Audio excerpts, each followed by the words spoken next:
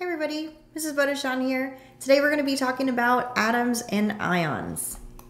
So first let's start with the basics, the parts of an atom. We have a nucleus in the center and inside that nucleus we have protons and neutrons. Protons are positive, neutrons are neutral.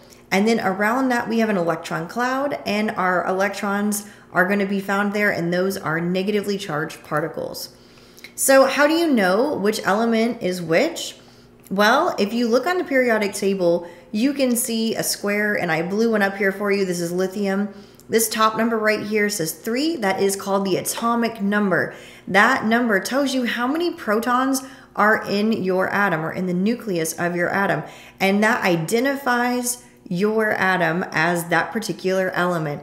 No other element will have the same number of protons because protons are what identifies the atom itself. So you can always see this number up top will identify your atom. So what does lithium look like? Just out of curiosity, it looks like this right here.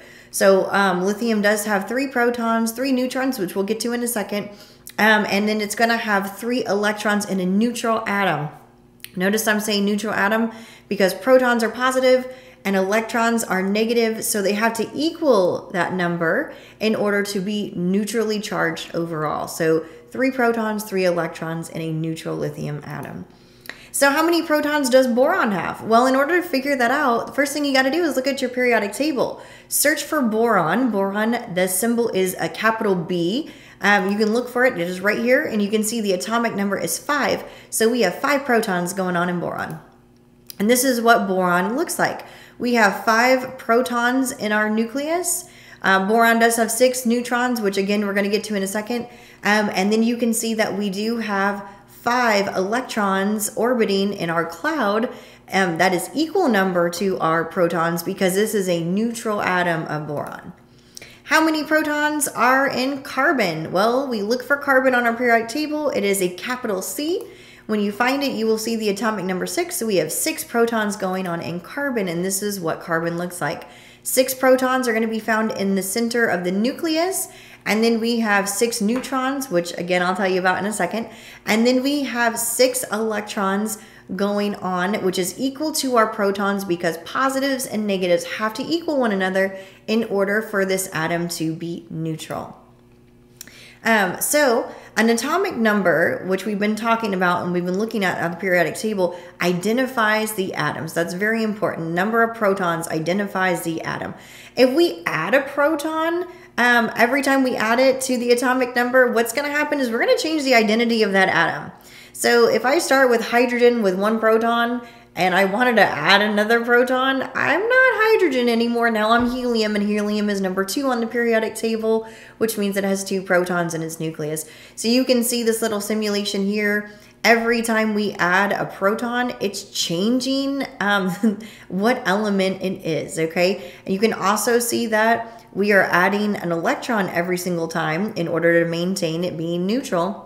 And our atom is getting larger and larger, larger nucleus, larger electron cloud as we go up and up.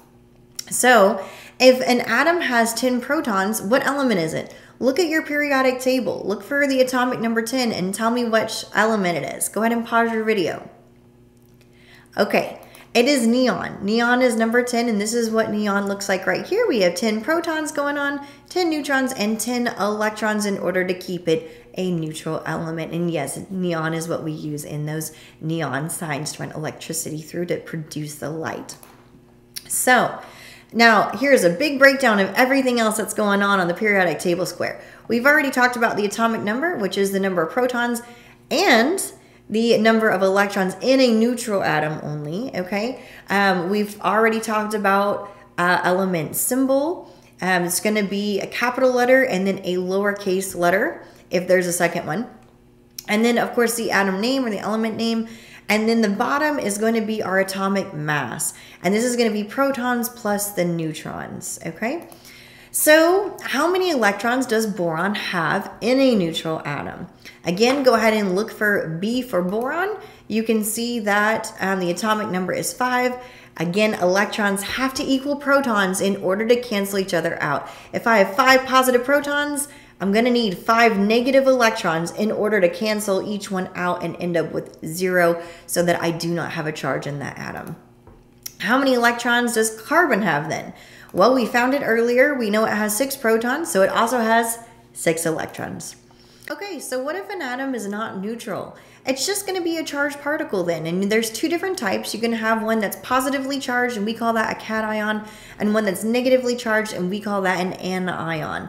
Now you're going to be able to tell whether it is which one because it's going to either gain electrons and become more negative or it's going to lose electrons and become less negative. In other words, positive, right? Um, so, and here's just a quick diagram to show you. You start off with a neutral atom. If you lose electrons, you're going to become a cat ion, which is positive. positive, and if you gain electrons, you're going to be a negative anion. Now, um, I did put in bold here, this is nothing to do with the gain or loss of protons, okay? We are not gaining protons. We are not losing um, protons in order to change our charge here. We're simply talking about electrons only. So we need to be able to write and understand ion notation. Now this center is going to be our element symbol. In this case, capital B for boron is what we're going to be talking about. The bottom left-hand number is going to be your atomic number or how many protons you have. So boron has five protons. Now that's not going to change. If I have five protons, I am forever going to be boron because the number of protons identifies that it's boron in the first place. The top number is going to be your atomic mass. And remember, the atomic mass is protons plus neutrons. And then in our top right hand corner is going to be the charge. And the charge um, for this boron is positively three charge. In other words, it's a cation because it's positive, which means that it had to give away or lose three electrons to be positively three charged when all said and done. So um, here's two examples for you. We have a cation uh, example of magnesium positive 2. It lost two electrons to become positively charged. And then we have an anion over here, uh, phosphorus, and it gained three electrons in order to be negatively three charged. So looking at this one, we need to determine these four questions. Let's go one by one. How many protons does this ion notation have? this particular ion? Well, I need to look in the bottom left-hand corner. This 11 here is the atomic number, which is my number of protons. So it has 11 protons. How many electrons? Well, in a neutral atom, if I have 11 protons, I would have 11 uh, electrons, right? They would be equal to one another to be neutral. But this is not a neutral atom. This is an ion, and I know it's an ion because it is positively one charge. If it is a cation, positive, it means it had to give away electrons. Well, how many? It shows you right here. It gave away one, okay? So it used to have 11 and it gave away one electron, so it's left with 10. So this ion has 10 electrons. What is the name of this element? I could look on the periodic table. If you don't know, Na is sodium. And then what is, uh, what type of ion is this? It is a positive charge, which means it's a cation. Let's try another one. How many protons does this ion have? Again, we're going to be looking in the bottom left-hand corner, and it has eight. This is the atomic number, which is the number of protons, eight protons. How many electrons? Well, again, in a neutral atom, it would have eight, the same number of protons and electrons. But this is not neutral, this is an ion. We have a negative two charge, which means that it gained two electrons. So if it had eight and it gained two, it's really like saying it added two, right? So we have 10 electrons in this one. What is the name of this element? O, if you look on the periodic table, is oxygen. What type of ion is this? Because it's negative, it is a anion. I hope this was helpful for you guys. If you have any questions, leave it down in the comments for me and I'll get back to you as soon as I can. Have a great day, guys. Bye, everybody.